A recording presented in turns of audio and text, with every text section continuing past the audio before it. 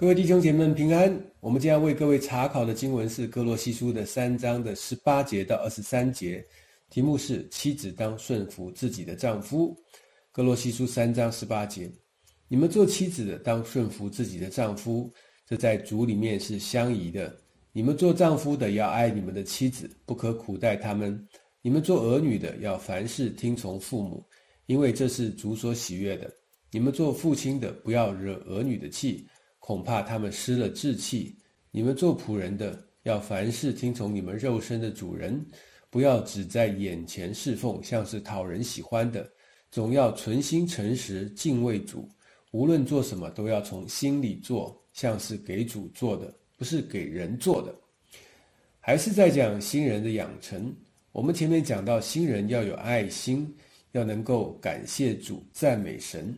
现在保罗又要继续的讲新人应当有的行为，这些事情或许看起来很像是一个笼统的行为规范，但是却又不是律法用于规范人要人遵守，而是保罗在向教会众人介绍脱去旧人穿上新人指引，因为毕竟那旧人与新人都是同样看不见的。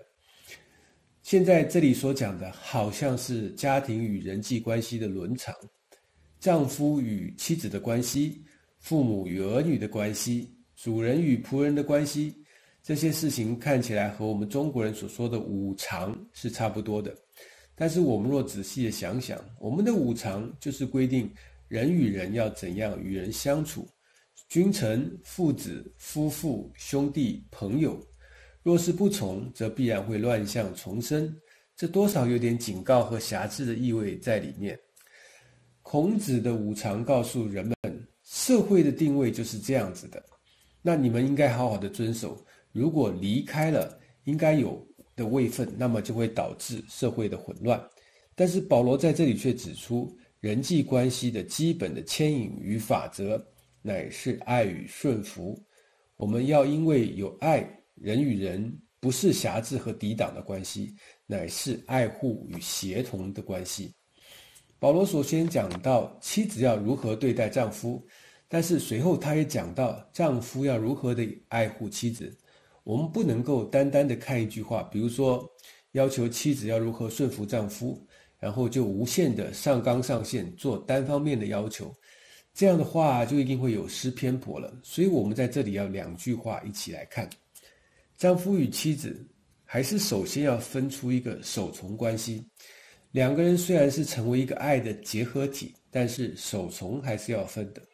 那为什么圣经要说丈夫是头而妻子是副从呢？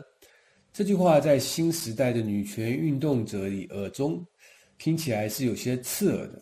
他们认为这是过时的。如今时代已经变迁，不需要再受这种教训了。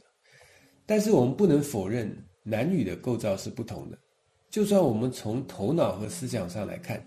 男女是极为相似的，但是我们对于自己的认知，那还是远远不及照我们的神对我们的了解。至少那些号称新时代的思想者，还是没有办法清楚地告诉我们，人类的灵魂到底是怎么一回事。那神在亚当之后，他说：“那人独居不好，我要造一个配偶帮助他。”于是神就用亚当的肋骨造了一个女人。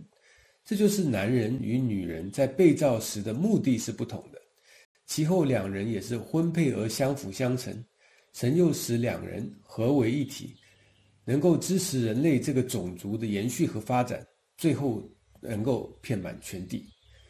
丈夫和妻子两人既是两个可以分开的个体，又是因为爱而结合的一体，可以将神的心意得以成全。这里面支持这样运行的主轴。那就是爱，所以妻子对于丈夫的顺从，丈夫对于妻子的带领的关系，一定是要出于爱。我们如果单方面要求妻子要顺从丈夫，而不考虑从双方在爱的关系上是否出了问题啊，那样是不行的。但是如果丈夫已经十分爱妻子，则是妻子因为骄纵而不肯顺服丈夫时，那个妻子不但是在顺服的灵上是有问题的。而且她对于丈夫的爱也是不够完全的，不但是她对丈夫的爱是不够完全的，并且她对于神的心意以及对于神的爱的认识也是不够完全的。有的妻子与丈夫在年轻的时候结合，但是媳妇儿啊，妻子不管在学历上或者是职场的机遇上，都要好过自己的丈夫，以至于日后这个妻子很难顺服丈夫，认为他才应该是做这个家庭的头。这样其实是看中了地上的物质和财富，要过于神所赐生命的价值。她可能是错过了一个。愿意为她舍命的丈夫，也轻看了两人之间的爱。我们常常看事情，只看到表面的利害关系，而忽略了本质，这样恐怕就会错过了神对我们所持的心意。妻子在爱当中顺服自己的丈夫，这在神的心意里面是合宜的；而丈夫在爱当中，当然也不会苦待自己的妻子。若是苦待的，那自然就是违背了爱。也违背了神给他的交托。感谢赞美我们的主，愿上帝赐福给你们，阿门。